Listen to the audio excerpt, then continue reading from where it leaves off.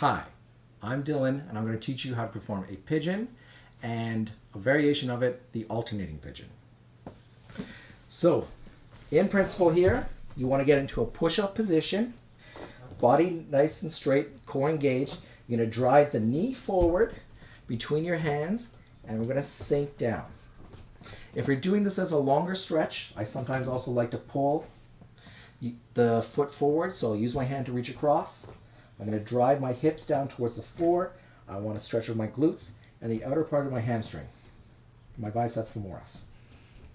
An alternating pigeon is the same thing, and I like to use it in my warm-ups, is that you're going to alternate between the movement. So we'll come in, drop, hold three seconds, out, and switch. Out, and switch. So your standard pigeon should be a longer hold.